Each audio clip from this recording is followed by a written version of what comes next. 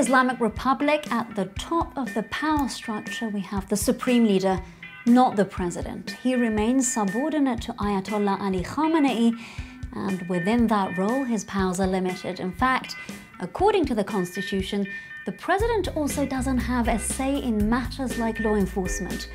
That falls in the hands of the judiciary, which is deemed an independent body, also largely controlled by the supreme leader. In addition to that, it's not the president of Iran, who is the commander in chief of the armed forces, but the highest power, Ayatollah Ali Khamenei.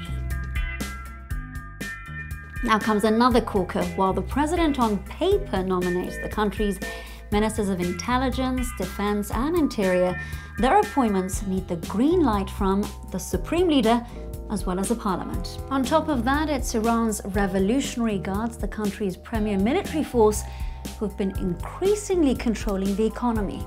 That's 25 to 40% today, and not the presidency. This powerful body also controls the paramilitary Basij militia, which is vital to maintaining the Islamic Republic's influence on wider society.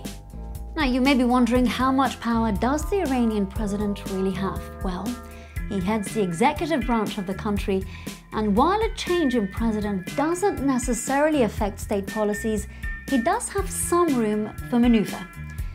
An example of that was the initial success of the Iran nuclear deal during the Hassan Rouhani administration.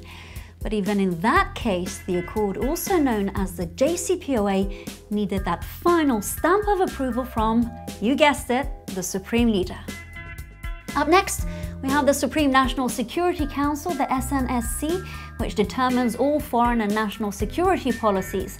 Now, that body is presided over by the president of the country. However, all the council's decisions must ultimately be confirmed by Ayatollah Khamenei. Last but not least, it's the foreign minister who recommends candidates for ambassadorial positions. Those have to be approved by the country's president. But there are, of course, as always, exceptions to this.